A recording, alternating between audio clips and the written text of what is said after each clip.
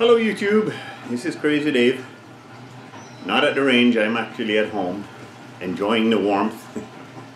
uh, reason why I'm here tonight is I'm going to go over a rifle that's new to me and it's my Norinco T97 Gen 3. Now if you don't have one of these rifles, get one. They're well worth the money. Uh, I have footnotes that I'm going to go over to keep everything on track.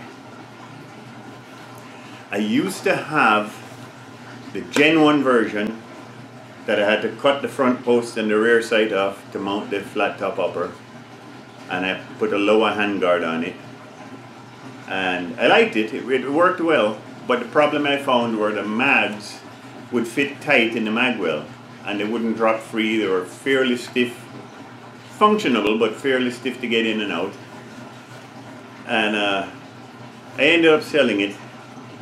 And I missed it so much I went out and bought another one. And the other one I bought was the same uh, Gen 1 version but it came with a flat top. And the magwell for some reason seemed to accept the mags a little bit better. That's the one you see in my videos where I do uh, 2,500 rounds, and in the 2,500 rounds, I had one that it was a failure to feed, and it pushed a bullet into the shell. And that was only the one round out of the 2,500, probably because it was real cheap ammo. Uh, so I was really happy with that rifle. It functioned well. I had no problems with it really. And uh, I heard that Norinco is making changes and I'll go over the changes on this rifle soon. But one of the big changes they made was the magwell and the feed ramp. Because the Gen 1 was wasn't famous, but there were people that were having jams and misfeeds and uh, it was very finicky as to what kind of magazine you could put in it. And the changes they made solved that problem. So they came out with the Gen 2 and the Gen 2 looks identical to the Gen 3 looks identical to it uh, the only difference that I can see between the Gen 2 and the Gen 3 if you look here I don't know how well you'll you'll see it but if you look right here these have M-LOK uh, slots and the Gen 2 had KeyMod. Now the problem with KeyMod is if for some reason uh, this gets jarred and slides back, the bolts that bolt the Picatinny rail would end up in the large circle of the keyhole and fall off, whereas the M-LOK, it's the same size all the way along, so if it, this does happen to slide back, I'm not going to lose it. So when I heard that the Gen 3 came out with the um, slots here, I decided, okay, I really want that because of the improvements they made and the M-LOK slots. So I sold the second one that I had and sold it for what I paid for it, so I didn't lose any money. And I was able to get this one. I think I put another hundred dollars towards this one, so I'm not really out much. Another thing is when the Gen 2 came out, they came out for roughly uh, I think it was fourteen or fifteen hundred dollars. The Gen 3 here now goes for eleven ninety nine. So they've actually lowered the price, which is nice. And to me, this is now almost perfect, and I'll explain that in a while. Okay, to go over the features of this, uh, this is the Norinco uh, T97 Gen 3. If you don't have one, get one. They're a really, really good rifle. It's a short piston gas operated system and if you look in the front here, I don't know how well you'll see it, but right here they have a selector for the gas system. It has a 1, a 0, and a, a 2. The 1 is for regular use. The 0 you it won't recycle. So you physically have to charge it every time you pull the trigger on the zero. Turns it kind of like into a bolt action instead of semi-auto. And then the two is for when it gets fouled or you have adverse weather conditions that's jamming things up, it applies more gas to your bolt. So, you know, it, it kind of compensates. Uh, this is chambered in 5.56 NATO, which means you can use the 5.56 or the 223. It comes with the flip up iron sights, front and rear. I obviously can't flip up the rear one because of the scope here. Uh, they're steel. Uh, the barrel length is 18 18 and a half inches. It's chrome lined. The twist rate is 1.7. The trigger pull, which is what I really am impressed with. First, you have to take the magazine out because uh, the bolt automatically automatically stays locked open with an empty mag. It has an auto bolt open on it the trigger pull, we'll charge it first to show you it's not loaded, it's pointing in a safe direction. The magazine that I just took out of it is empty. The trigger is, let me use the other hand so you can actually see it a little better. The trigger is really smooth. The reset isn't overly long, but again the trigger is really smooth. The reset is audible and tactile. And bullpups are notorious for long trigger pulls. And the reason for that is there's a linkage that runs from your trigger all the way back to where the hammer is in the back here. Because the bullpup, all the action is behind the pistol grip. That's why the mag loads here. Uh, so for a bullpup, I guess it's average, but the trigger is really, really smooth, and it's only four and a half pounds. Now the weight of this rifle is 8.6 pounds, so it's just a little bit heavier than the Tavor. It's about the same as an AR, uh, but it's much better balanced. The balance point, point of this rifle is uh, right at the pistol grip. It's, it's not front heavy or back heavy, which makes it feel a lot lighter than the Tavor and makes it more comfortable to shoot as far as I'm concerned. But we'll get into this versus Tavor later. Uh, the Gen 3 obviously comes with a flat top and it runs at a Picatinny rail. Uh, the full length of your upper and it's aluminum so it's not plastic it won't uh, flex which makes your mounting surface very rigid the charging handle is not reciprocating I'll put this back in so I can show you it's not reciprocating it's free floating so once it's in place this doesn't move backwards and forwards to bang your knuckle. Another note is this rifle came with the charging handle on the right side. There's a bolt here at the front and a bolt at the back. You have to take off your steel sights. You undo those bolts, the whole top piece comes off and you can get to the charging handle. It doesn't even take five minutes to switch it over, which is nice. So you can set it up the way you like. Uh, every T97 comes, now I don't know if I'll be able to do this or not, but in the bottom, bottom of your pistol grip, there's a little button that you push. I'm doing it with my thumbnail. You can do it with your thumbnail or bullet or whatever. And the bottom plate slides off. Now once you get the bottom plate off, there's a little container that has tools in it. Now I don't know how how well you'll be able to see that, but it comes with uh, different rods and stuff, so you can clean the gun. It's nice and handy. It's right in the pistol grip. Now when you're putting the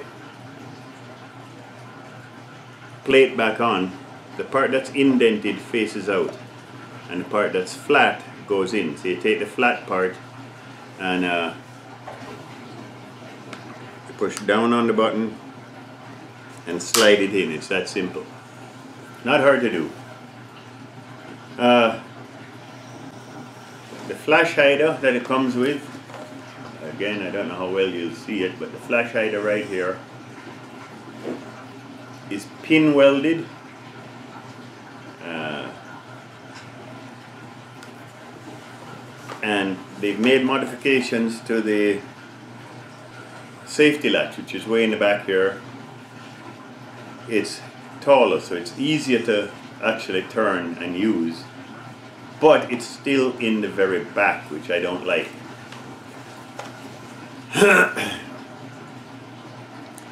Another one of the big modifications they made was the original Gen 1 series.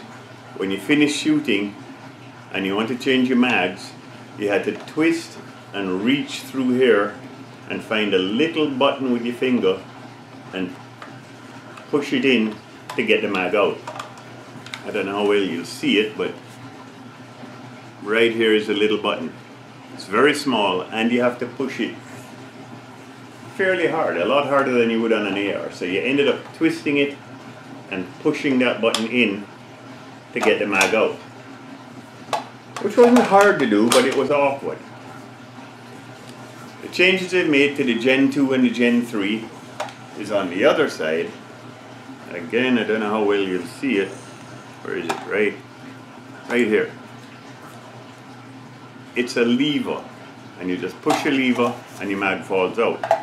So they've made the mag release ambidextrous. So instead of reaching like this now, all I have to do is hit this with my thumb and it comes out.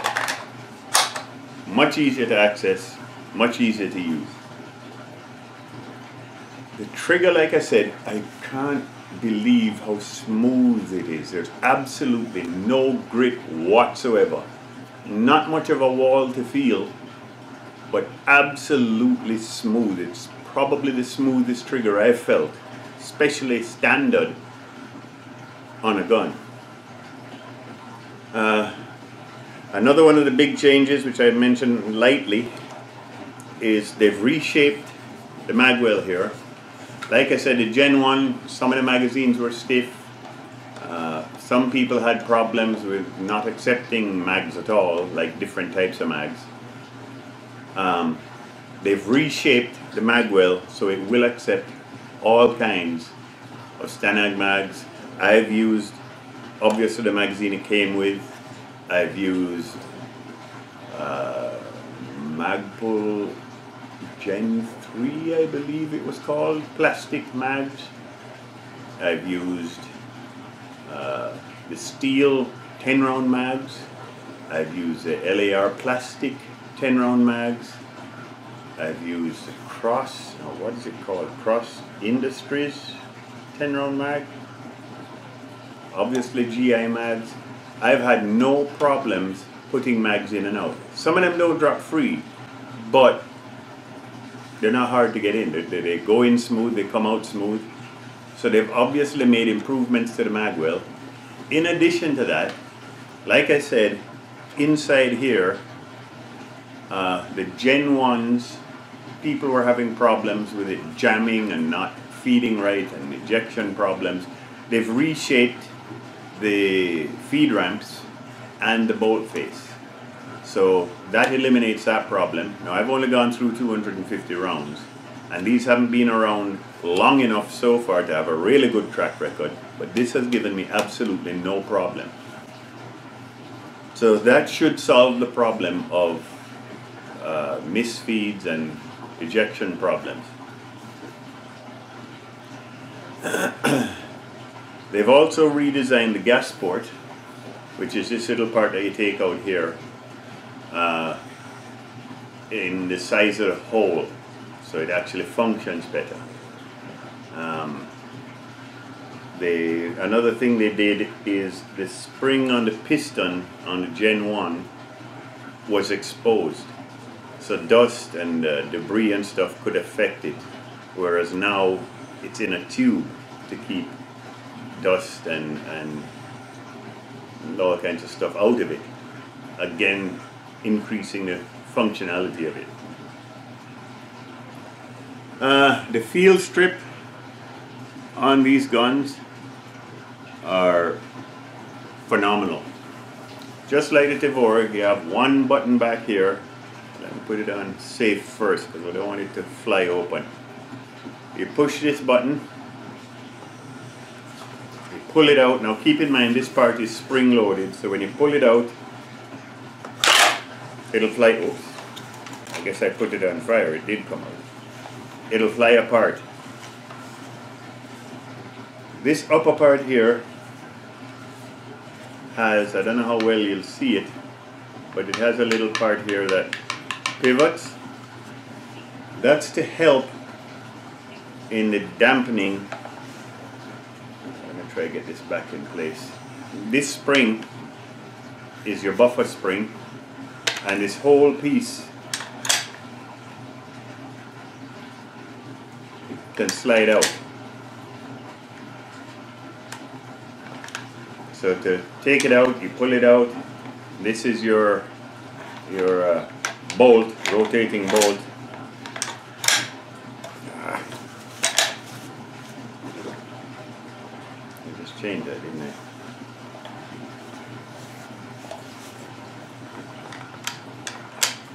Oh, it's because it has a mag in there. That's what the problem is. Should have done it without the mag. So this slides in. Then you take this part and it, it slides on here and here. This is these are rails and this is grooved. So you have to get the grooves in place, slide this in. You have to pull the trigger get it past there, put it on safe and that stops it flying out. That's what I meant to do in the first place, but with the magazine in, it didn't do its job. This now you rest on here, slide it in, whoop, push that in and you're good to go. So you literally pull one pin, this part comes out, the whole gut slide out and then you can get into your barrel and that. The gas port, like I said, you turn this all the way flat. I'm not going to take it out, but flat. And when it's flat, this can be pulled out, and that's how you get to your piston.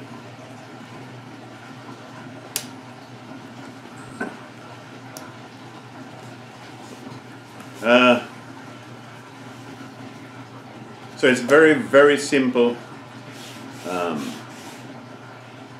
field strip that you do. Very simple, a lot simpler than the Tavor which we'll get into later. The action that you're actually using to load in that is extremely, not only is it trigger smooth, but the action is extremely smooth. Fire to go all the way back. Really, really smooth. Not gritty at all, and very, very smooth. Uh, the ejector port yeah, pull it back. You can lock it open by pushing your finger in the back here and pushing up on a lever. And that'll lock it open. But the ejector port here, when the shell gets ejected, it gets ejected with such force that, well, I've heard people make a comment, it almost launches it back to China, which it kind of does, right? Uh, one guy actually mentioned he thinks the shell comes out faster than the bullet comes out the other end. but it really comes out fast. In fact, it'll shoot it out roughly a 40 degree angle, like a 2 o'clock position, and it'll shoot it out, oh, 15, 20 yards. It's insane how far the brass flies. But because it flies at a 40 degree angle. Uh, Norinco has said they made it that way specially so that it wouldn't be going sideways and hitting comrades in the face. It's designed to get the hell out of there without hitting other people in the face. And uh, it comes out with such force it actually dents the shell. So if you're thinking of getting one of these rifles and you want to reload your 223 or your 5.56, it's not going to happen. The shell actually gets dented so you can't reuse them. Uh, this is a right-handed only weapon. For the main reason, when you have when you're shooting it, your head is way up here like this. The gas port is right by where your mouth is going to be. So if you're to shoot it left-handed, and you have your eye on your sight, the ejection port's right here. So it's going to split your lip wide open. Now I suppose if you put your, your face further back, because it comes that way out, it can be shot left left-handed. I've done it. I've, I've shot it on my weak side around barricades and that. And it you definitely get a much stronger smell of propellant and kind of blow back in your face. But it is possible to shoot it like this left-handed. Not really recommended, but if you had to, you can. So this is really a right-handed only uh, weapon. You cannot change over to the other side. Uh, sling attachments. This comes with two, one in the back and one in the front. It's on the left-hand side. And when it's in there, it makes a gun fit real flat against your body. It's really nice. So if you're running through bush or going over logs or what have you, and it's unsafe obviously, it lies absolutely flat against your body, which is nice. I, on the other hand, this pin here, normally you just push a pin and pull it out and you can get the lower off. What I've done, I don't know if I have one of those pins here or not, I don't think so. I got a push pin from the hardware store and it comes all the way out. It's longer than the one that's on the gun. And I've drilled a hole through it so I can actually put a swivel single point sling on here. So if you see the video with this having a, a single point sling, that's how I got to do it. Uh, they're not hard to do. You just have to make sure the push pin, this push pin is 5 sixteenths of an inch wide. So make sure if you're getting one, it's minimum 5 or maximum 5 sixteenths because this fits real snug. and make sure the head of it is small enough to go into this indent. And you push it in, mark where you want to uh, drill the hole, and make sure the hole is big enough for the little pin of this swivel here and then cut just above the hole that you just made so that this can actually swivel because there's not much room between the pin and the top here. So if this part is too long above the hole that you just made this will buck. It won't it won't swivel. But that's basically how you do it. I've had a lot of people ask me how do you get a single point sling on it? That's how I did it and I, any rifle that I get that doesn't come with one, that's what I end up doing. In fact, I have a shotgun that I changed the normal stock to a pistol grip type. And I drilled the hole all the way through and I've done the exact same thing to it. Because I personally prefer a single point sling over a double or a triple. That's just me personally. Uh, but you have not eliminated the, the points for you to make a two point sling. And now with this third point here, you could actually convert it to a three point sling if you wish. Okay, now, in the video that I made about this uh, rifle, I made a comment that I dare to say, and I, I stick by it, I dare to say that I prefer this to the Tavor. I know a lot of Tavor owners are going to get upset and a lot of people are going to scream It's kind of like when you insult a Glock. Here, let me go over the details as to why. There's quite a few reasons why I prefer this to the Tavor. A, it's not as bulky back here. So when you're shouldering it, it feels a lot more comfortable because you've gotten rid of all that bulk that the Tavor has. Secondly, uh, it's half the price of the Tavor. Like I said, this comes in at $11.99. You throw the lower handguard on here, you're still just a little over half the price of the Tavor, meaning you can buy two of these for the price of the Tavor. If you throw a Geissele trigger in a Tavor, because a Tavor trigger is nowhere near as nice as this, and you increase the value of the Tavor, you can literally get two of these with the lower handguard, making it perfect for the price of one Tavor. That's something to think about. Uh, it's better balanced than the Tavor. The Tavor tends to be a little front heavy. So if you're holding the rifle, it tends to want to do that. So you end up putting a little pressure backwards to, to keep it up straight. So if you're holding it for long periods of time, your forearm ends up getting little achy because you're constantly fighting the want of it going forward because it's front heavy. This balance point is exactly on, I'm not really, I'm just steadying, but the balance point is exactly on the pistol grip. So you can literally just hang this and hold it without any strain whatsoever. So it's better balanced and feels, because it's better balanced, feels a lot lighter than the Tavor.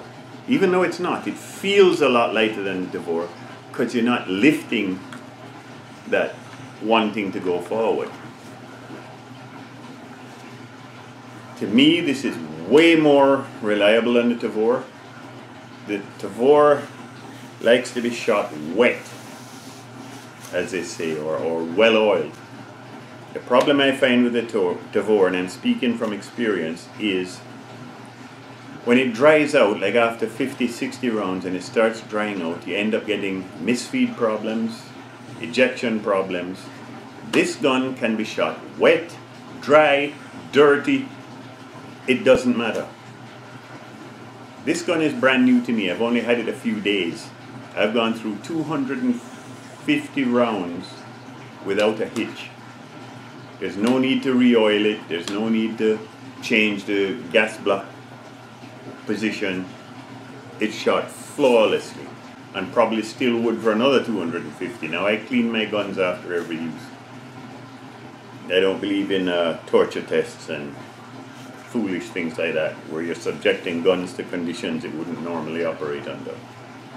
It's foolish and it's dangerous. Now I'm not talking about people that like Nothing Fancy, for example, will go out in the desert where it's real dusty and everything, and he will shoot hundreds of rounds there's no problem with that. I'm talking about people that throw it in the mud, step on it, drag it behind vehicles, throw it in swamps. That kind of torture test is not only foolish, but it's dangerous.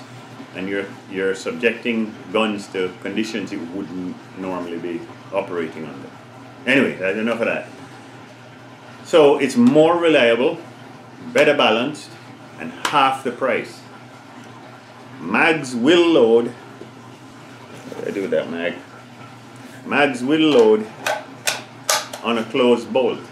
Whereas the Tavor, you really have to slam it in and it, it, it's a little finicky when it comes to loading a, a loaded mag on a closed bolt.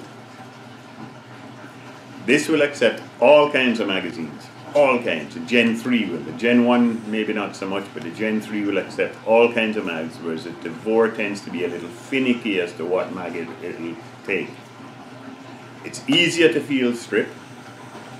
The trigger on this is much, much better than the Tavor. Like I said, this is a four and a half pound trigger. The Tavor I had was closer to 10 pounds there's a guy on YouTube that says his trigger was 22 pounds. I can't see it being that much, but anyway, I know mine was a lot heavier and it was gritty.